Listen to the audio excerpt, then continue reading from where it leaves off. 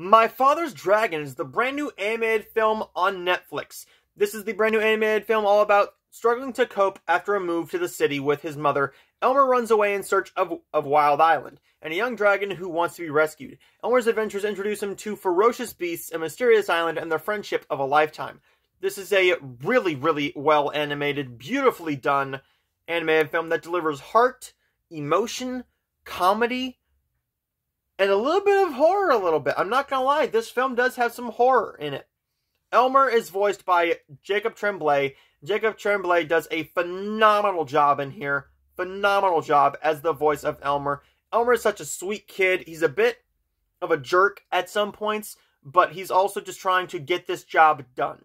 He wants to go on this adventure and he wants to get what he wants, and that's it.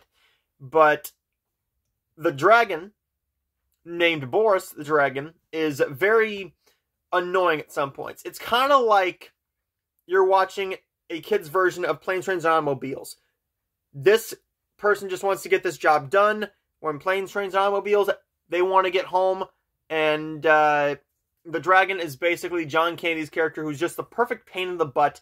But it also has the emotion as Planes, Trains, and Automobiles. Beautifully done animated film here. There's emotions in here that you're not going to expect particularly one moment uh, at the very tail end and the beginning of the film that really do a great job of displaying what a script can do for an animated film that is not talking down to kids. There's a couple toilet humor jokes in here that are going to annoy the parents, but there's plenty of moments in here where you will sit there with your kids, or even as an animation fan, you're going to sit there and you're going to enjoy this film for exactly what it is. It's an hour and 30 minutes without the end credits. Definitely check this one out on Netflix. Beautifully animated. The way this story flows is phenomenal. It did not drag.